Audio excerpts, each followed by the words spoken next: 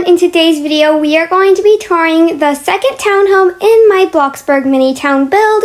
Now I've already toured the first townhome, so if you haven't watched that video already, please go check it out. And so before I start touring this build, I want to tell you a little bit about it. Um, this one I actually created like characters for it. So it's supposed to be like maybe a grandma or somebody like living with their grandkids. Like they all live in the same house like the grandma, the grandpa, and like maybe their two grandkids. I'm imagining them like a teenager and like a toddler. So yeah, that's kind of the story to this house. I tried some more build hacks on this one than I usually do. So yeah, enjoy.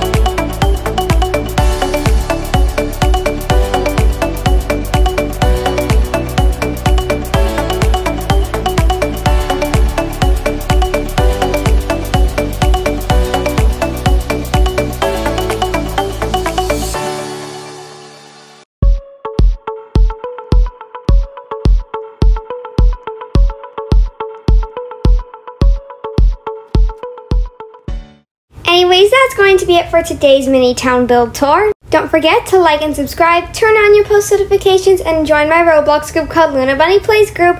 Thanks for watching. Have an amazing day or night. I don't know.